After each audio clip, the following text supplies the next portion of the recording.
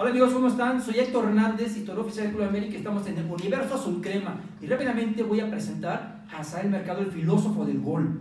¿Qué tal, Héctor? ¿Cómo estás, Asael? ¿Todo bien? Perfectamente aquí. La bellísima Pilar Montero, que viene directo de las canchas. ¿Cómo estás, Pilar? Hola, bien Héctor, buenas noches, Asael, buenas noches. Michel Peboy, ¿cómo estamos? ¿Cómo va la gira, el tour artístico siguiendo el Club América? Muy bien, muy bien. Saludos a toda la mesa. ¿Ok?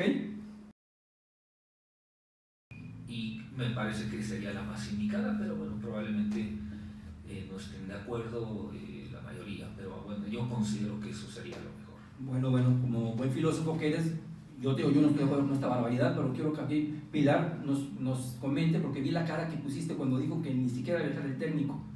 Es que, bueno, no entiendo el punto, porque se tiene que dar seriedad, ¿no? O sea, o sea, el América no puede darse los lujos de ir con equipos, o, con medio equipo, o con el equipo de reserva, ¿no? O sea, y si se le dio la seriedad a la Copa, ¿por qué no se le va a dar la seriedad para calificar a la liga como se debe? Si calificamos en séptimo, bueno, pues ni modo, ¿no?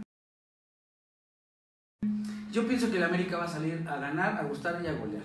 El América no es un equipo pequeño, tiene, tiene un equipo para, para gustar a toda la gente, para que el día de mañana en la cancha de, de Veracruz gane sin, sin sus reservas.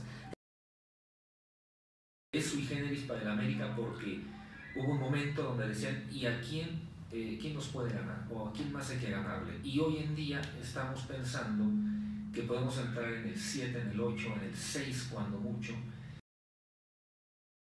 Un crack brasileño, San delantero.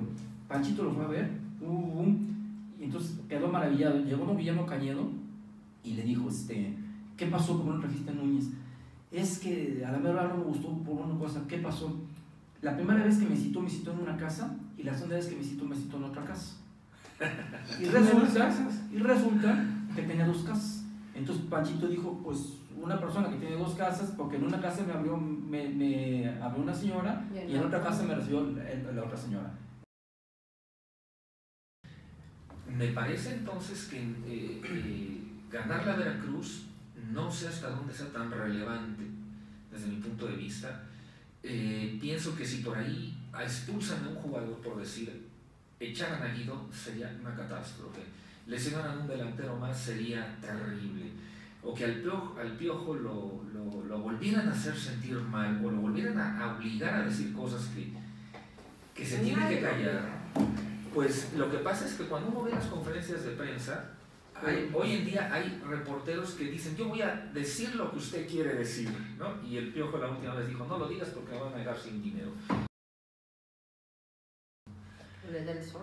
Mal Menes Bueno. porque nunca hay que pelearse con el cocinero ni con el que Sí. paga, ¿eh? Claro, Sí, exacto. pero- Entonces nos vemos pronto. Chepe, Pilar, filósofo del gol. Amigos, soy Héctor Hernández y esto fue el Universo Sin Crema. Vámonos.